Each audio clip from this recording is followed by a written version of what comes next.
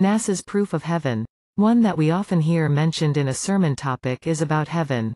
The word appears 327 times in the Old Testament and 255 times in the New Testament. Even Jesus mentioned 32 times during his entire course of his three years ministry. Perhaps we have a query running in our mind about the exact location of heaven? And what would heaven be like? Heaven in the Old Testament, from the Hebrew word samayim, and Greek uranos in the New Testament, refers to the area above the earth which includes sky, air, the star, planets and the entire galaxy, or the place above the sky and God's dwelling place. In Genesis chapter 1 verse 1, New King James Version, in the beginning God created the heavens and the earth. It gives a clear picture of what God has done during creations. The above account of the word heavens in a plural form not just one but many. The first heaven is the sky and the abode of the birds, which we can see with our naked eyes. Let us consider this, Revelation chapter 19 verse 17, King James Version, and first saw an angel standing in the sun, and he cried with a loud voice, saying to all the fowl that fly in the midst of heaven, Come and gather yourselves together unto the supper of the great God. In the second heaven, we can find the stars, the moon, and galaxies of outer space.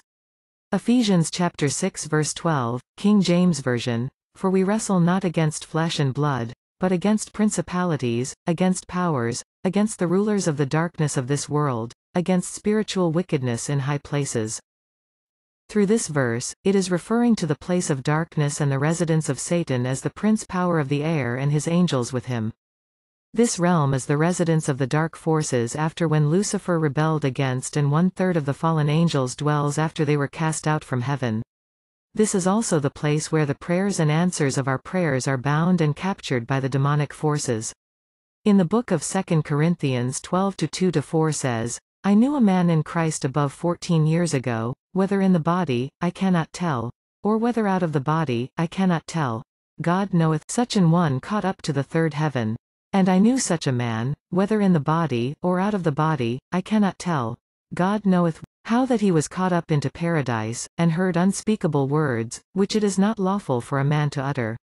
Paul wrote to the Corinthians about his supernatural experience being caught up to the third heaven but what he heard and saw he did not elaborate further detail about it. But for Paul seeing the highest heaven of heavens, the abode of the angels, saints and God's home was a great privilege.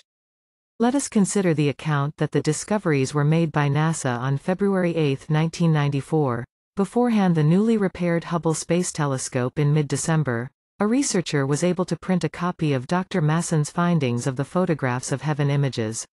A NASA expert says that the pictures printed are the proof they are waiting for. Furthermore, he added that he is confident that someone had influenced his choice to direct the telescope to a specific region of space.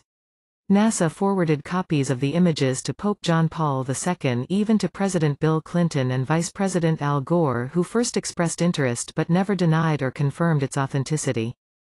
Many people nowadays have testified on the internet about their rupture experiences and how God revealed the secrets of heaven and hell to some of the chosen men and women of this end time. They claim that heaven is a magnificent place filled with numerous mansions made of pure gold and precious stones. Their description is similar to that in the book of Revelation chapter 21 verses 18 to 21, King James Version, and the building of the wall of it was of jasper, and the city was pure gold, like unto clear glass. And the foundations of the wall of the city were garnished with all manner of precious stones. The first foundation was jasper, the second, sapphire, the third, a chalcedony, the fourth, an emerald. The fifth, sardonyx, the sixth, sardius, the seventh, chrysolite, the eighth, beryl, the ninth, a topaz, the tenth, a chrysoprasus, the eleventh, a jacinth, the twelfth, an amethyst. And the twelve gates were twelve pearls, Every several gate was of one pearl. And the street of the city was pure gold, as it were transparent glass. NASA upon careful verification of the images are real and it is impossible for life to exist in that kind of atmosphere but only souls that dwell in God's habitation.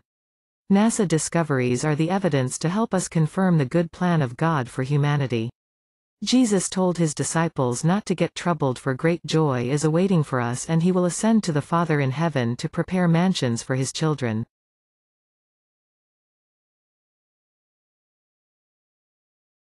If you want to share your experiences about revelation in heaven and hell or prophetic messages, send it to us in this channel.